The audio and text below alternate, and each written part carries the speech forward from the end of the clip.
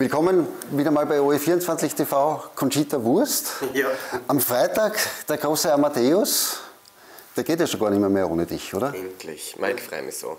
Ja, ich, ich freue mich total, dass ich das immer nur machen darf. Ähm, jetzt sind wir wieder im Volkstheater zu Hause, wo wir hinkehren, mit Publikum, mit allen Nominierten und Nominiertinnen. Wobei nominiert ist ja eh gender neutral. Ähm, äh, ja, ich freue mich sehr es wurde auch Zeit. Ich finde es gut, dass die Show immer äh, stattgefunden hat in irgendeiner Form, aber, aber das ist halt jetzt. Ich denke, für dich, du hast es ja in beiden Varianten gehabt, mit Publikum quasi dann nur für eine Kamera. Vor dann ein Stein vom Herzen, dass man. Na, sicher. Also, wie gesagt, es ist eh super, dass er war, aber wenn ich nur mal in einem leeren Raum einen Witz machen muss, nicht mit mir. Man sieht, du hast ja jetzt schon quasi die große Rube an, also darf man wieder Oscar von dir erwarten, oder? Ja, was du, ich tue halt immer hin und her und jetzt habe ich wieder Lust. Das, ähm, ja, wir bringen wieder Glamour, ein bisschen Glamour, das darf schon sein. Ja. Wie viele Outfits hast du eingepackt? Wie viel willst du ausführen? Ja? Naja, haben da die fünf? Sie das ausgeht, ist die Frage. Schauen wir mal. Aber es ist schon, es, es, ist ja auch für dich, so wie du gesagt hast, das war das letzte Mal quasi in einem leeren Raum, jetzt dieses Jahr wieder ein bisschen so ein Klassentreffen. Jetzt kann man die Leute endlich wieder treffen, vielleicht sogar umarmen, wenn keiner einschaut. Ja, ich weiß gar nicht. Ich, bin, ich muss ja ganz ehrlich sagen, mit den Verordnungen und Regelungen komme ich gar nicht nach. Äh, jetzt weiß ich gar nicht, ja, jetzt wird es schon irgendwo ein Bus lassen. Backstage. Dieses Mal ist das Reglement ja etwas anders. Man weiß ja, 80er weiß man ja schon. Ja, ja, ist ein bisschen schräg, oder? Ja, ähm, äh, ich denke mir natürlich auch, es, es äh, lässt ein bisschen die Spannung raus von der eigentlichen Show. Auf der anderen Seite ist es natürlich auch wieder gut, weil der Amadeus quasi jeden Tag im Gespräch ist. Und ich glaube, das war der Sinn und Zweck der Übung, dass halt mehr Aufmerksamkeit auf die österreichische Musikszene äh, gelenkt wird. Und das finde ich schon gut. Natürlich, ja, und sie dann die Nominierten vorlässt, ja, wir machen es ja auch für die Menschen, die vielleicht noch nicht mitgekriegt haben, was passiert ist und, und die daheim zuschauen. Und wäre es so spannend, das möglich machen.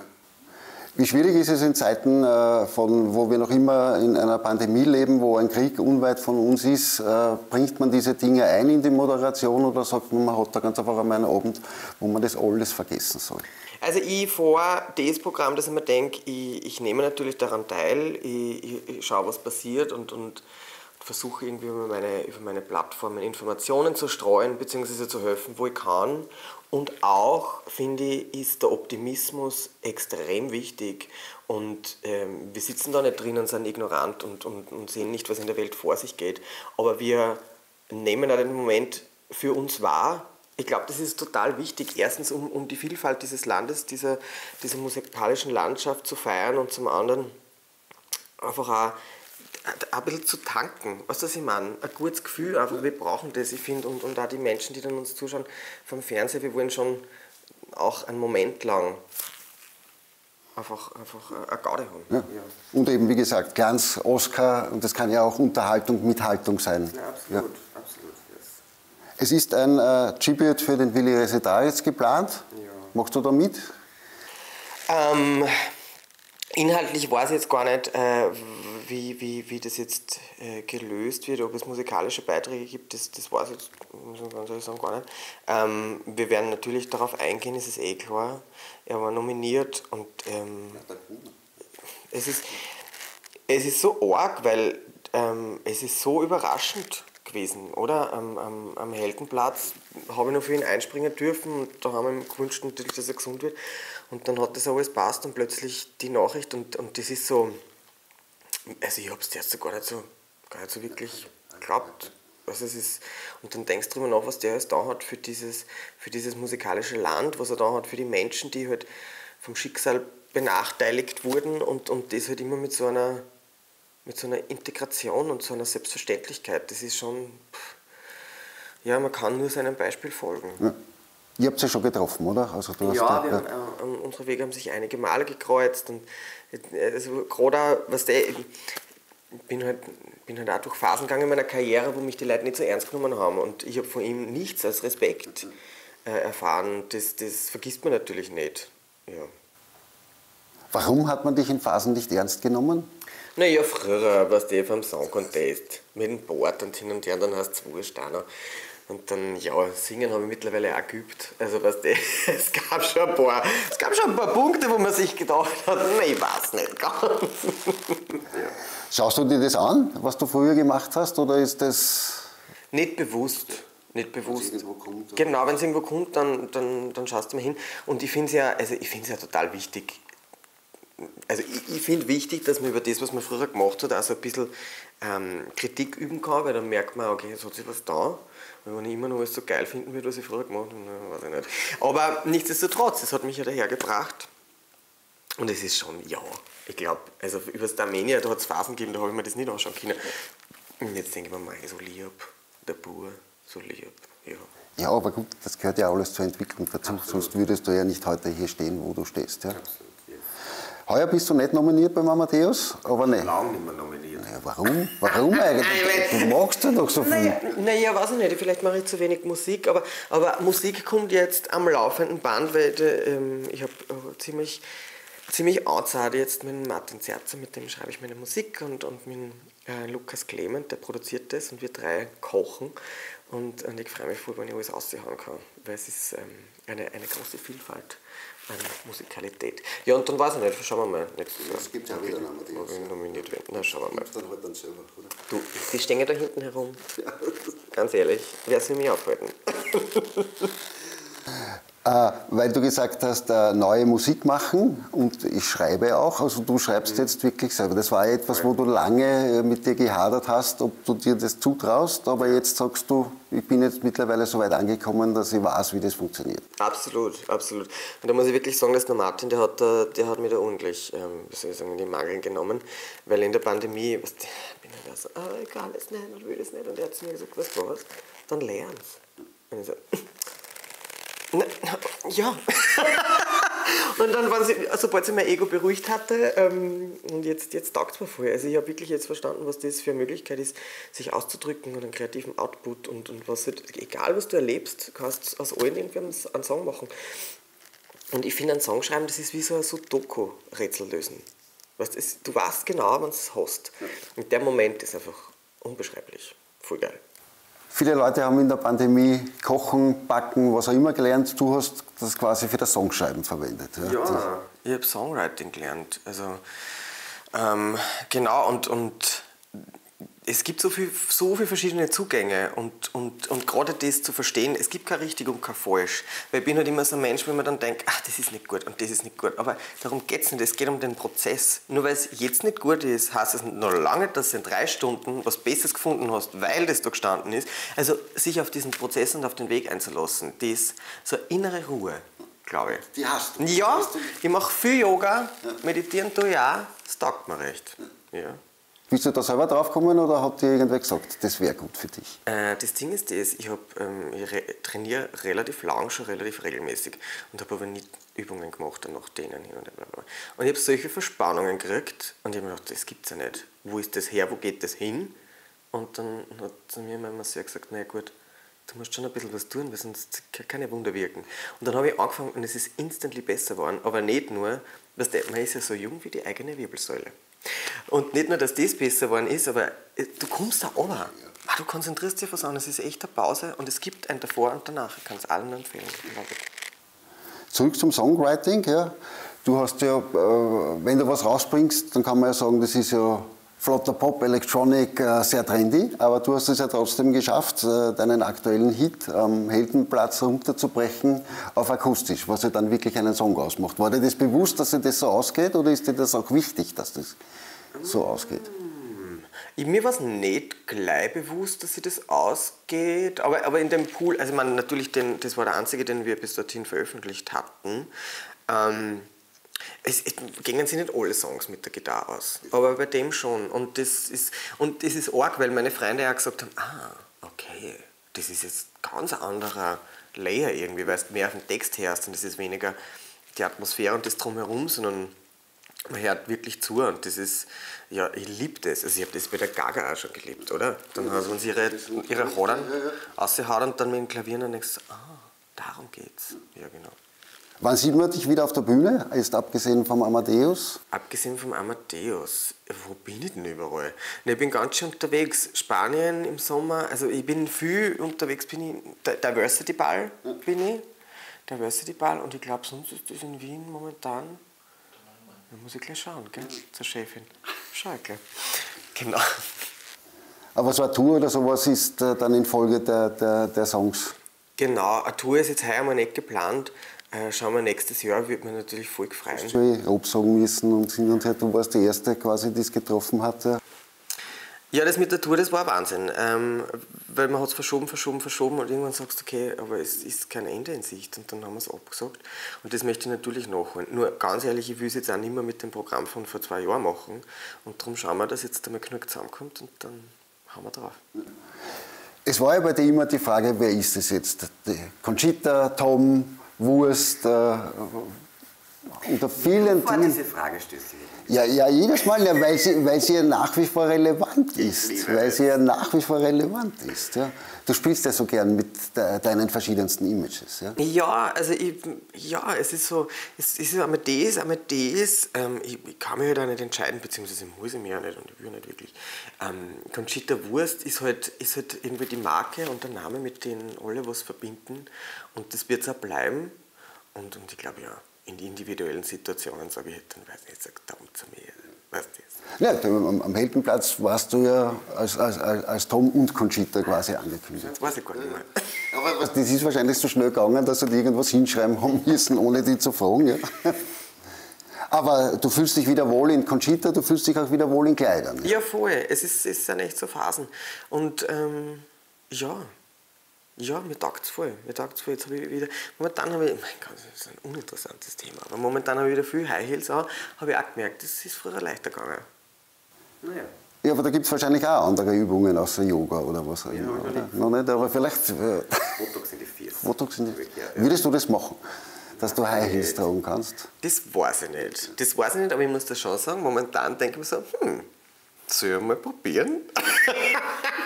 Also bist dem nicht abgeneigt. Ich liebe es. Ich lieb, ganz ehrlich, ich liebe Plastic Surgery und mir ist das wurscht, wie das, weil es gibt dann Leute, aber nur wenn es gut macht ist. I don't care. Ich liebe das, wenn sie sich die Lippen aufballern lassen, das taugt mir voll. Taugt mir voll. Na sicher, warum nicht? Es kann durchaus sein, dass du dann nicht nur mit neuer Musik, sondern auch mit neuen Lippen überraschst. in ein Gesicht komme. Wer sie? Jetzt von Conchita ist es natürlich nur ein ganz ein kleiner Sprung zum Song Contest, der ja relativ bald wieder über die Bühne geht. Bist ja. du in Turin dabei? Mhm. Ja, ich bin dabei, ich freue mich so. Ich muss immer schauen. Nein, nein, ja, ja, ich bin dabei. Ähm, ich darf dabei sein, ja, ich freue mich total, aber als Gast. Also es gibt nichts, nicht, nicht wirklich was für mich zu tun, aber ich freue mich voll. Ich, ich bin, ich weiß nicht, ich bin ja voll involviert, also in, in meiner Welt. Und äh, ja, es sind viele gute Leute dabei. Extrem viel. Was, was heißen wir? Hey, I love it. Super, Super Nummer. Ja. Oder? Ich habe mir auch gedacht, geil, dass sie sich für das entschieden haben, weil ich muss ja sagen, ich habe ja schon vorher alles gehört. Also ich habe nicht mitentschieden, aber man kennt halt Leute. Und ist das wichtig, dass du das vorher hören kannst? Na, wichtig nicht, aber ich freue mich natürlich, wenn es mir dann wer sagt. Was der dann, und dann mache ich mir wichtig. Also in den vier Wänden. Aber Lumix ist großartig. Lumix taugt dir so, wir schaffen das Finale. Lumix ist ja. Ja. Also das Finale muss ja ausgehen. Ganz ehrlich. Nein, das geht sich aus. Oder? Das ist eine super Nummer. Mir taugt es voll. Ich finde, das ist so jetzt. Und wo, das Video haben sie gemacht im Kunsthistorischen, ja. glaube ich. Großartig. Taugt mir. Und sonst hast du einen Favoriten? Ah, nein, und sonst hast du einen Favoriten, meine ich. Du hast um, ja ähm, wahrscheinlich. Ich finde Serbien ist großartig, die Nummer ist extrem geil. Die Ukraine ist großartig. Ich glaube, ist ein Favorit, oder? Ja, ich glaube, das, heuer geht es um den zweiten Platz, kann man ja, fast sagen. Ja, es, ja ich glaube, das. Der, Aber ganz ehrlich, unabhängig von dieser Situation, es ist schon auch gerechtfertigt. Also, wenn die gewinnen, alle mal. Italien ist auch wieder stark. Ja? Italien, die Hand drauf.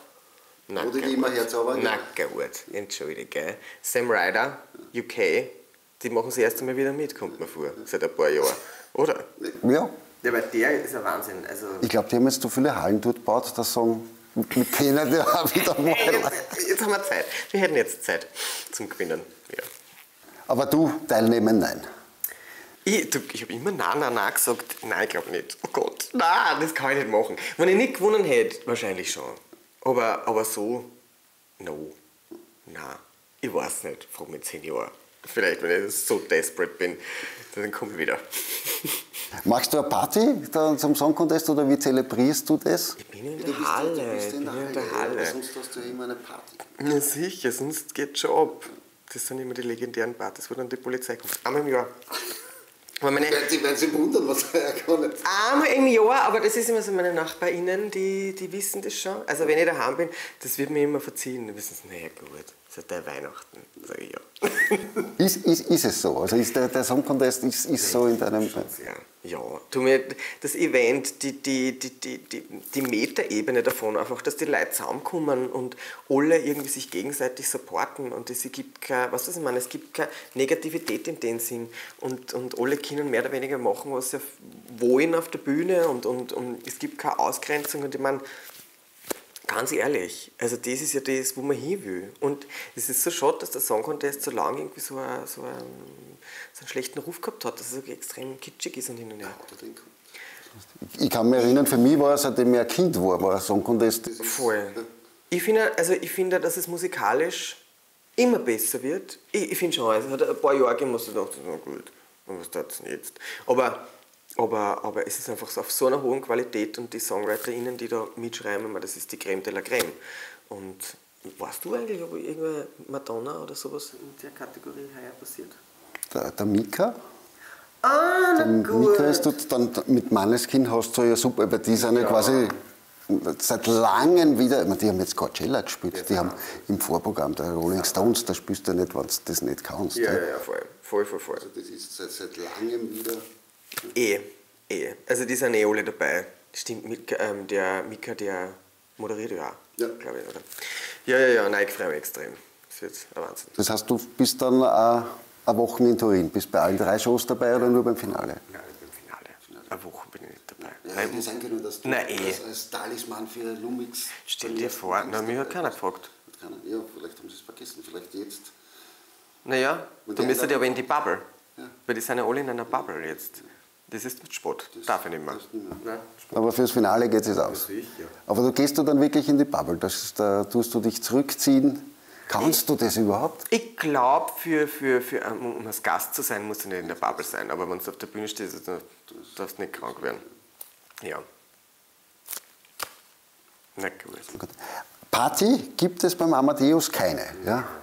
Das geht da ab, oder? Oder ist das. Du, warum es mir angeht? Weil ich finde, der Austausch so extrem wichtig war, weil es ist einfach die Musikbranche, die sich da trifft und wir haben uns sicher alle genug zu erzählen und das ist so ein bisschen, wo du denkst, ja, es ist schade, aber der Grund ist natürlich total verständlich, spendet man das Geld lieber und ähm, ja, ich hoffe, dass es irgendwie, irgendwie zum privaten Austausch kommt irgendwo. Aber ich finde diese Aftershow-Partys, also ich sage, das, das brauchst du. Ich finde nach so einem Event, du musst einfach irgendwie runterkommen und, und du bist dann so in der Emotion und das ist echt schade, wenn man das dann nicht... Ja, ist ja ist- du gehst hin und dann gehst du wieder heim. Ja, also, und genau das gehört ja dazu, das Feiern. Ja? Und vor allem auch nach dieser langen Zeit. Und es ist ja doch das Klassentreffen des Austropop. Ja, das ist es wirklich. Mike freue mich so. Ich kann es nicht erwarten. Du, äh, noch, noch zurück, du hattest nach deinem letzten Hit hast du eine Coverversion für den Film ausgebracht. Und das war ja ein Udo Jürgens Cover. Ja? Unsere zwei Song Contest Gewinner. Wie war denn das für dich, dass du den Udo coverst? Nein, es war Wahnsinn. Also, dass ich das machen darf, dass ich da eben bei der Onkel, eben bei, bei dem Film, ähm, da den Song singen durfte. Ich weiß, was ich will. Udo Jürgens. Ich bin drin gestanden im Studio und es ist, es ist, gut gegangen, muss ich sagen. Das, der Zebo hat das äh, produziert und wir waren echt so geil. Da, also das ist schon, das geht sich schon gut aus. Und ähm, ja, es ist, ist natürlich eine, eine Ehre, dass ich das darf, was der Udo Jürgens Land, da muss ich schon mit vielen Menschen sprechen, dass sich das dann irgendwie ausgeht und dass da mir einfach auch das Vertrauen geschenkt wurde, dass ich das gut mache. Ähm, das ehrt mich sehr und ja, ich liebe die Nummer. Ich liebe es.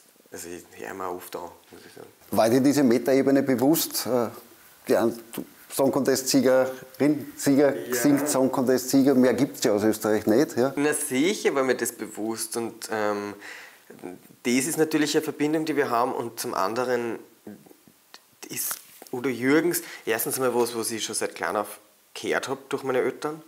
Und ein bisschen meine musikalische Erziehung. Und das steht mir ja, möchte ich sagen. Ja. Das steht mir schon. Weil du sagst, ich stelle da immer dieselben Fragen, dann stelle ich eine, die ich immer gerne stelle. Ja? Was macht die Liebe?